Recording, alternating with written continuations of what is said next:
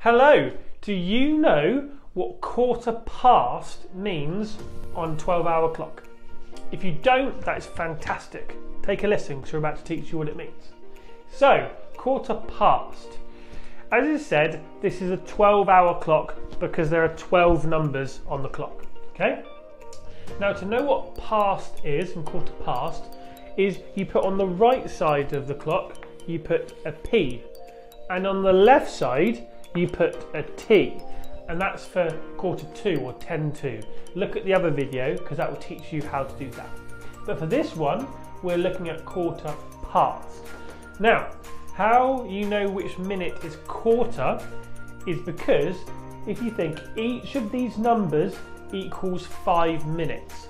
So that would be five minutes, then that would be 10 minutes, and then that would be 15, which is quarter, because there are 60 minutes in an hour, so quarter of 60 is 15. That's why this is quarter.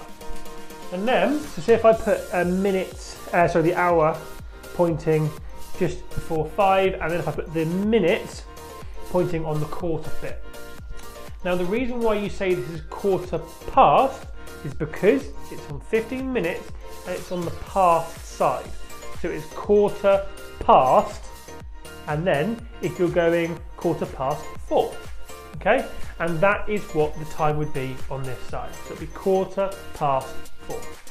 All right, use this information, smash the next games, and we'll see you in the next one. Bye!